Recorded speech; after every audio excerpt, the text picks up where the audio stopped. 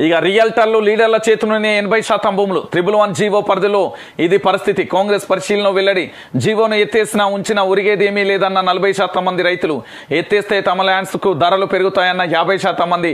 GO ఉంటేనే మంచి గాలి పీల్చుకుంటున్నామంటున్న పది శాతం మంది. ఎఫ్టీఎల్ లోపల ఉన్న అక్రమాల నిర్ణయాలు ఫామ్ హౌస్లను తొలగించాలని కాంగ్రెస్ డిమాండ్. చెప్పలే? ధరణి ధరణి ధరణి నీ పుణ్యమని తెలంగాణ రాష్ట్రంలో ఎనభై శాతం భూములు మీ లీడర్ల చేతిలోకి వెళ్ళిపోయినాయి.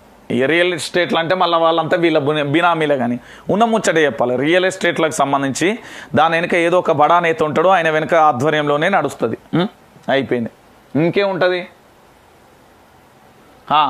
బీసీ స్టూడెంట్ల స్కాలర్షిప్లకు కేసీఆర్ పేరు.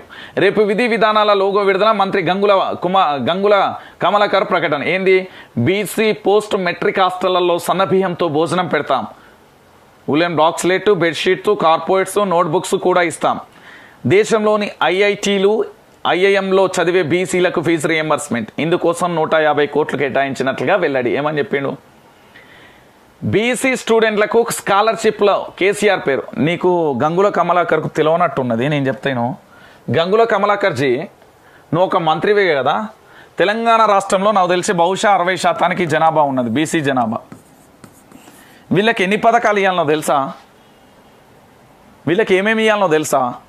జనాభా ప్రాతిపాదికన కూడా ఏమేమి ఇవ్వాలనో కూడా తెలుసా? నువ్వు కేసీఆర్ ఇస్తాం సన్న బియ్యం పెడతాం అది ఇది కాదు. ఫస్ట్ పెట్టే సన్న బియ్యం కాడ మంచి బియ్యం పెడుతున్నారా లేదా అనేది కనుక్కో. కూరగాయలు మంచిగా ఉన్నాయా లేదా కనుక్కో. దానికి మళ్ళీ కేసీఆర్ పేరు పెడతారట రేపు లోగో పెడతాం ఏమైంది? బీసీలో లక్ష రూపాయలు ఇస్తాను. ఎంతమందికి ఇచ్చినావు పంతొమ్మిది మందికి ఏమో ఇచ్చినావట. ఆ చెక్కులు కూడా రాలేదట. మరి చెప్పు నువ్వు ఇచ్చిన చెక్కు కూడా ఇంకా పైసలు రాలేదట. గంగుల కమలాకర్ గారు మిమ్మల్ని అండి మినిస్టర్ గారు మిమ్మల్ని అడిగేది మేము. పరాయన్ని అడుగుతలేము నేను పరాయన్ని అడుగుతలేను అంటున్నా నిన్నే అడుగుతున్నా సారు. ఇగో భద్రాచలం వద్ద కరకట్టను తాకుతున్న గోదావరి ఇగో ఇదే కరకట్ట ఇగో నీళ్ళు తాకుతున్నాయి చూడుర్రి. జర జాగ్రత్తగా ఉండుర్రన్న ఎవరి మాట పోయి ఏదో చేయకూరి జడ ఆ, ఆగమాగం ఉండకుర్రి. ఇక చూడుర్రి ఎడాపెడ అనుమతులు నెలాఖరుతో ముగియనున్న పర్యావరణ అథారిటీ కమిటీల పదవికాలం హడావిడిగా దరఖాస్తుల పరిష్కారం.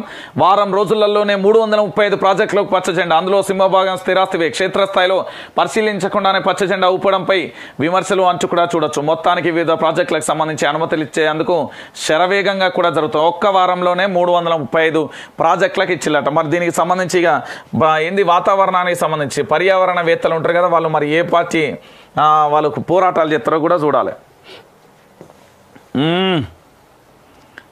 కరువు తీర్చి రాత మార్చి. ఏంది అట? ఒక్కసారి దీన్ని చదువుదాం. సమైక్య రాష్ట్రంలో వచ్చిపోయి తీవ్ర దుర్భిక్షానికి చిరునామాగా మారిన సిద్దిపేట నంగునూరు మండలంలోని పెద్దవాగు పరిసర నేడు సస్యశ్యామలంగా మార్చి పచ్చని పంటలతో కలకలలాడుతోంది. వారం రోజులుగా ఎడతెరిపి లేకుండా కురుస్తున్న పెద్దవాగు నదిని తలపించేలా ఉధృతంగా ప్రవహిస్తున్నది. వాగుపై పదిహేను కిలోమీటర్ల పరిధిలో నిర్మించిన తొమ్మిది చెక్ డ్యాంలు పొంగి పొర్లుతున్నాయి. ప్రస్తుతం వాగు పరివాహక ప్రాంతంలో ఎటు చూసిన పచ్చని పంట పొలాలు అలుగుపారుతున్న చెక్ డ్యాంలు దర్శనమిస్తున్నాయి. రాష్ట్రంలో మిషన్ కాకతీయ అనే పథకానికి స్ఫూర్తి నిచ్చింది ఈ పెద్దవాగే అంటూ కూడా చెప్పిన పరిస్థితి.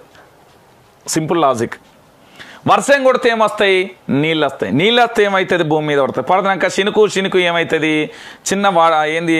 చిన్న ప్రవాహం అదే ఏమవుతుంది వాగు అవుతుంది ఆ వాగు అయినాక పెద్ద పెద్దగా జరుగుతాయి. అంటే చెరువులు డ్యాములలో కలుతాయి. చివరికి అవి సముద్రాలలో కలుతాయి. వాన వచ్చినాక నీళ్ళు రాకపోతే ఏమవుతాయి అన్న? ఈ మాత్రం మనకు సోయలేదా వర్షం కొడితే నీళ్ళు రాకపోతే ఏమన్నా కాసుల వర్షం వస్తుందా? వర్షం కొడితే ఏమొస్తాయి? లేకపోతే మేఘాలు పడతాయా? వర్షం కొడితే ఏమొస్తాయి అన్న? వర్షం కొడితే నీళ్ళే కదా వచ్చేది. ఈ వాగులకు సంబంధించి అటు ఇగో కలకలలాడుతుందట పచ్చ. ఏడా అన్ని నీళ్ళే కనబడతాయి కైర ఇగో చూడ్రి నీళ్ళే కనబడుతున్నాయి. వర్షం కొడితే నీళ్ళే వస్తాయి అన్న అయ్యయ్యో అయ్యయ్యో. ఎంత ఘోరం ఇది. ఏంది?